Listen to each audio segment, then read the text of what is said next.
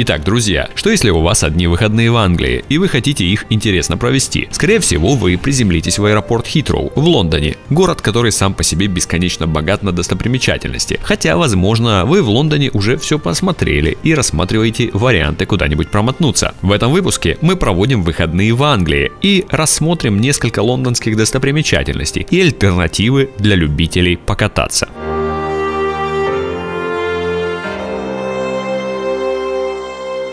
Знаменитая площадь Лейстер Сквер в Лондоне. Это пешеходная площадь в Вест-Энде в Лондоне. Она имеет знак с надписью Theaterland. Она известна своими кинотеатрами, которых насчитывают 6 штук, и театрами, которых более 50. Здесь же на площади проводятся кинофестивали. Есть рестораны, пабы, клубы. Место также считается центром ночной жизни Лондона. Здесь десятки, если не сотни ночных клубов и дискотек. А еще эта площадь – место встреч знаменитостей, ведь здесь проходят премьеры, на которые и приезжают артисты кино и эстрады, и даже члены королевской семьи. Лондон богат небоскребами и садами. Вы, наверное, могли в этом убедиться по моим прошлым видео. Здесь есть место Sky Garden, которое сочетает в себе сразу две достопримечательности. Sky Garden – это необычный сад на вершине небоскреба небоскреба Walkie-Talkie, что можно перевести как рация. Собственно, небоскреб в самом деле внешне ее напоминает. Он построен в историческом центре Лондона, из-за чего возникает вопрос, каким образом здесь появилось стеклянное здание из 37 этажей, которое так выделяется на фоне остальных. В свое время инвесторы запросили разрешение на постройку у властей города, и те разрешили, но с условием. На крыше должен быть общественный парк с бесплатным входом для всех желающих. Таким образом, на крыше здания появилась смотровая площадка с растениями и зеленью. Сад разбит на три части. На верхнем уровне находится тенистый лес с фиговыми деревьями и папоротником. В средней зоне разные пальмы, придающие экзотическую нотку. Ну а на нижнем ярусе находятся цветы. Ну и, конечно, достопримечательность, которая нравится всем детям – аквариум Sea Life. В аквариуме выделены две основные части – Атлантическая экспозиция и Тихоокеанская. Сами они поделены также еще на несколько зон, среди которых такие, как прогулка с акулами, коралловый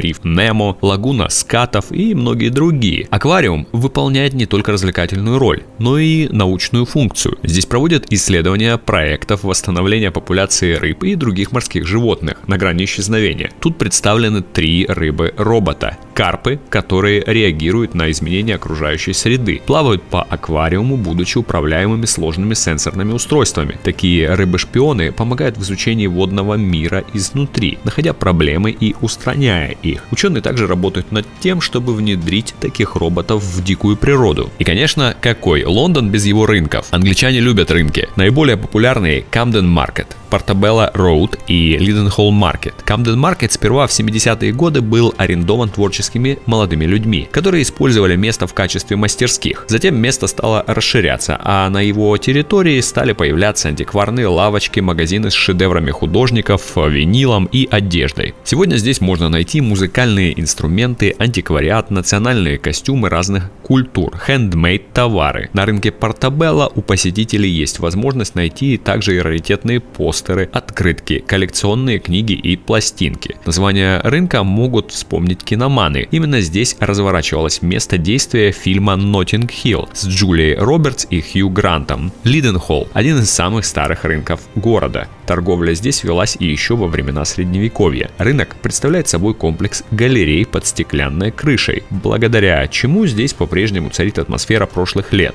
Сцены в Косом переулке из Гарри Поттера снимались именно здесь. Но из шумного мегаполиса предлагаю отправиться вам на самый край Англии. Лэнс Энн, графство Корнуолл, на юго-западе Англии. Так и переводится «край земли». Местные жители долгое время вообще не хотели себя считать частью Англии. Об этом напоминает также тот факт, что корнуэльский язык на этой территории был основным аж до 18 века. Однако память о нем все равно осталась, заключенная в разных названиях. Название деревни Маусхолл произносится как Муз. Название деревни переводится как мышиная нора и имеет свою историю. Вход в гавань, на берегу которой находится деревня, довольно узкий, как Мышиная нора. Когда-то в этой деревне жил старый рыбак со своей кошкой. Однажды, незадолго до Рождества, началась сильная буря, и рыбак вместе с кошкой решили пойти добывать рыбу, чтобы жителям деревни было что есть. Они наловили кучу рыбы, а когда вернулись домой, обнаружили, что все жители деревни вышли встречать их с лампами в руках. С тех пор в деревне Маус Холл или Музел. Есть своя традиция. Каждое Рождество сюда приезжают жители всего графства и зажигают свечи в память тех, кто не вернулся с моря. И раз уж мы с вами приехали на край света английского, то давайте посмотрим, что здесь есть посмотреть. Эта местность славится своими пляжами. И мы с вами едем на один из них. Пэдден Вандер. Находится недалеко от мыса Логан Рок, ниже утеса Трин. Название происходит от корнуэльского Пэдден – голова и Вандер – переулок. Добраться до пляжа можно по прибрежной тропинке вдоль скал. Если вы просто решите прогуляться по данной местности, поверьте, вы не останетесь равнодушными к видам, которые здесь открываются. И, конечно, мало кто может себе представить Англию без Оксфорда. Про сам город рассказывать не буду. О нем лучше детально посмотреть на моем втором канале SMAPS. Там и про университеты, про съемки Гарри Поттера и много чего еще. А сейчас я расскажу вам про музей Пита Риверса. Это музей Оксфордского университета. Посвящен он этнографии и археологии. Чем же он так интересен? Кто помнит э, Джеймса Кука?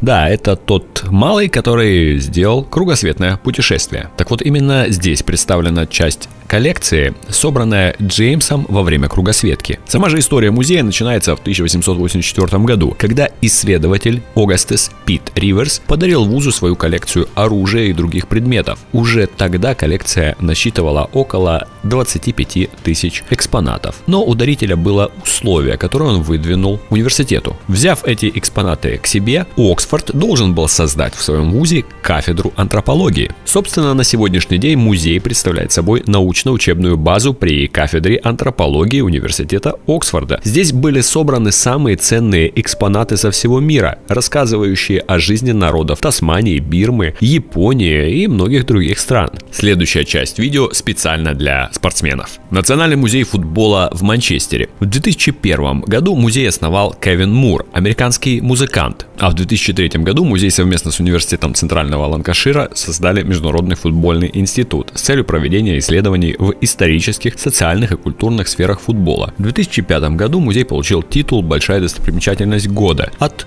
Tourism Awards. Находится музей в футуристическом высотном здании из стекла, которое является бывшим зданием выставочного центра Urbis. Создатели использовали также интерактивные сенсорные технологии. Здесь футбольные болельщики могут сыграть в футбол двое на двое, отточить пасы и проверить свою реакцию на воротах, и даже примерить форму судьи. А сейчас любителям музыки. Музей British Music Experience в Ливерпуле. Музей, посвященный индустрии музыки в Британии. Не только показывает ретроспективный взгляд на британскую музыкальную индустрию в 1944 года, но и содержит музыкальные артефакты, интерактивные инсталляции с цифровыми технологиями. Музей переместился сюда в 2014 году, а до этого, с 2009 года, он находился в Лондоне на арене O2. В музее несколько зон. Первой можно узнать историю о музыке в разных городах, указав на него на небольшой интерактивной карте. Вторая зона рассказывает о различных технологиях, начиная с радио и заканчивая кассетными плеерами. Третья зона посвящена диджеям разных времен. В четвертой зоне расположен танцпол, где можно выбрать любой стиль и станцевать, наблюдая за инструкциями на большом экране. В следующей зоне каждый желающий может попробовать себя в качестве гитариста. Есть здесь и основная сцена, на которой происходит концерт Боя Джорджа, а точнее певца из голограммы. Но, конечно, в таком путешествии в Англию как обойтись без